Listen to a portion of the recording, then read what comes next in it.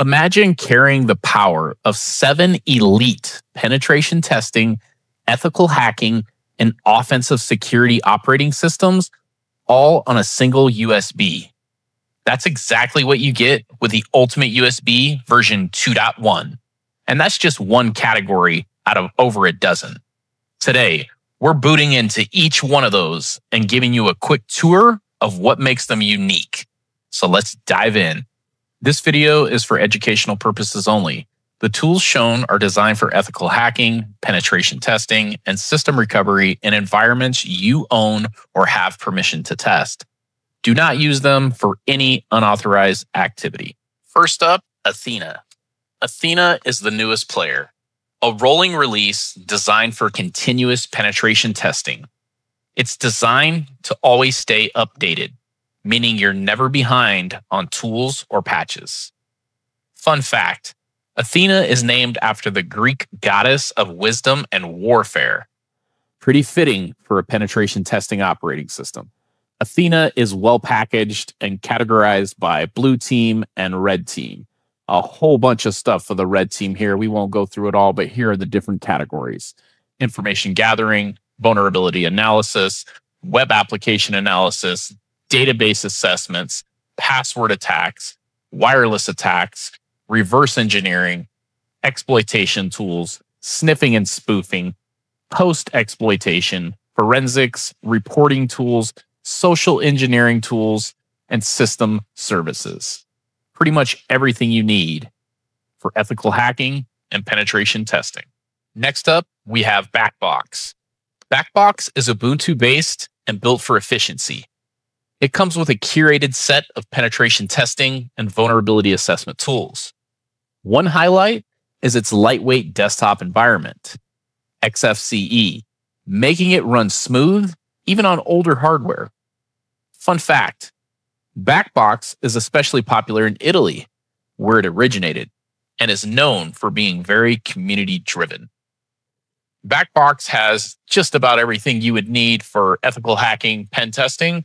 One gripe I will say, at least in my opinion, it's not as well organized. So all applications, there is a ton of stuff here. You'll see some familiar names. Gparted. Uh, I saw Ophcrack in here. You're gonna have Aircrack NG. So you've got all the stuff. It's just I don't use this a lot, so maybe there's a better way to browse the different categories. It's just not as well categorized or organized as some of my other favorites. But this is Backbox. Next up on the list, we have BlackArch. BlackArch is hardcore. Over 3,000 hacking tools are available through its repositories. It's based on Arch Linux, so you get rolling updates and full customization. Fun fact about BlackArch unlike Kali or Parrot, BlackArch does not come preloaded with everything. You install tools as you need them, making it super modular. Now, in my opinion, BlackArch Slim, which is what we're looking at here, is better than the BlackArch Full just because of the layout and ease of use. You right click here, you will get the menu where you can go to all applications, and then they have things categorized here. You'll see some BlackArch specific tools. I'm not going to go through all of these, but just know that through the repositories, there's over 3,000 hacking tools ready for you to install and get cracking. All right. That's BlackArch. One of the coolest logos, in my opinion, as well. All right, next up on our list, we have Fedora Security Lab. Fedora Security Lab is a live distribution built for audits and forensic work. It provides a safe test environment with tools like Wireshark, Medusa, and many others, all neatly organized into the Security Lab menu. Fun fact Fedora Security Lab actually comes with a pre configured training environment, making it a great choice for classrooms and workshops. The main menu we're going to be looking at here is the Security Lab under Applications. And again, a lot of different categories here, along with some other applications at the bottom. You've got code analysis, forensics, intrusion detection, network statistics, password tools, reconnaissance, a very large suite of reconnaissance tools. You have some VoIP tools, web application testing, wireless. And then along with those categories, we have some individual utilities here as well. Another solid choice. All right, guys, if you've been watching me for a while, you Kali Linux is my favorite offensive security, ethical hacking, penetration testing operating system. By far. Call me a fanboy. I don't care. I love Kali Linux. Kali Linux is the gold standard for penetration testing. Right out of the box, you get hundreds of pre-installed tools like Metasploit, Wi-Fi, Nmap, and so much more. One standout feature in Kali Linux is Kali Undercover Mode, which instantly makes your desktop look like Windows to avoid drawing attention. Fun fact Kali was originally called Backtrack up until about 2013. Kali Linux is very well organized and has everything you need right out of the box. Information gathering, vulnerability analysis, web application analysis, database assessments, password attacks, wireless attacks, reverse engineering, exploitation tools, sniffing and spoofing, post exploitation, forensics, reporting tools, social engineering tools. And then you have Kali and OffSec links. So this thing literally does it all. Again, it's my favorite. Black Arch has a cool logo, but Kali has the best one. That's my humble opinion. All right, so let's take a look at that mentioned feature here. It's called Kali Undercover Mode. Nothing to see here, folks. I promise. I'm just on Windows. Totally not on Kali right now. All right, that's Kali Linux. Next up is an operating system that you definitely cannot go wrong with in the offensive security ethical hacking space Parrot OS. Parrot is like Kali's versatile cousin. It's lightweight, privacy focused, and excellent for secure browsing as well as hacking. It even includes built in tools for anonymity or staying anonymous, like AnonSurf, which routes all traffic through Tor.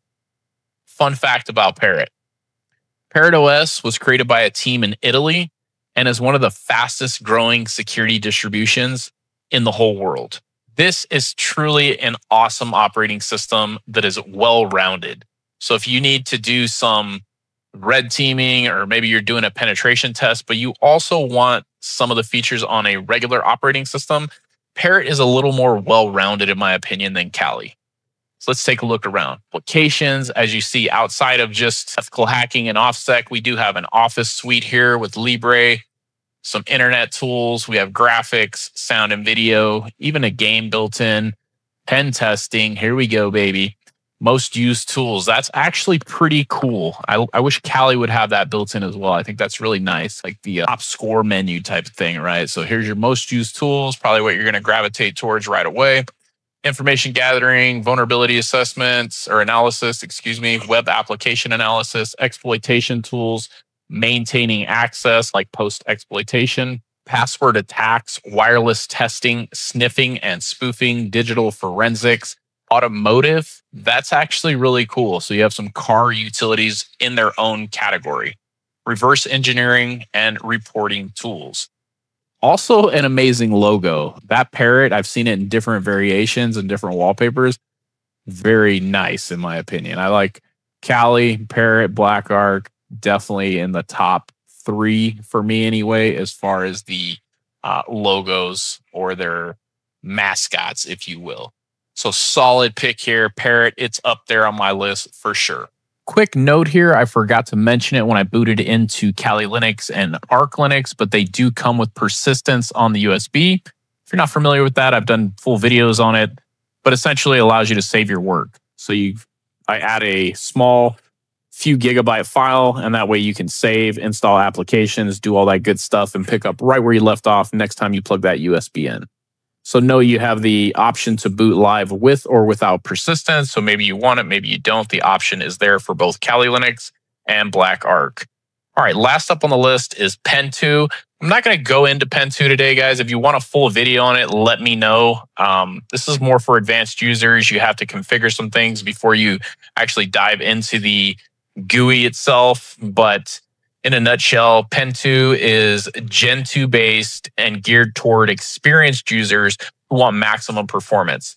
It's optimized for penetration testing with kernel patches for things like packet injection and hardened security testing. Fun fact about Pentoo, it uses the Gentoo portage system, which lets you compile software optimized specifically for your hardware. So there you have it seven powerful offensive security operating systems on a single USB.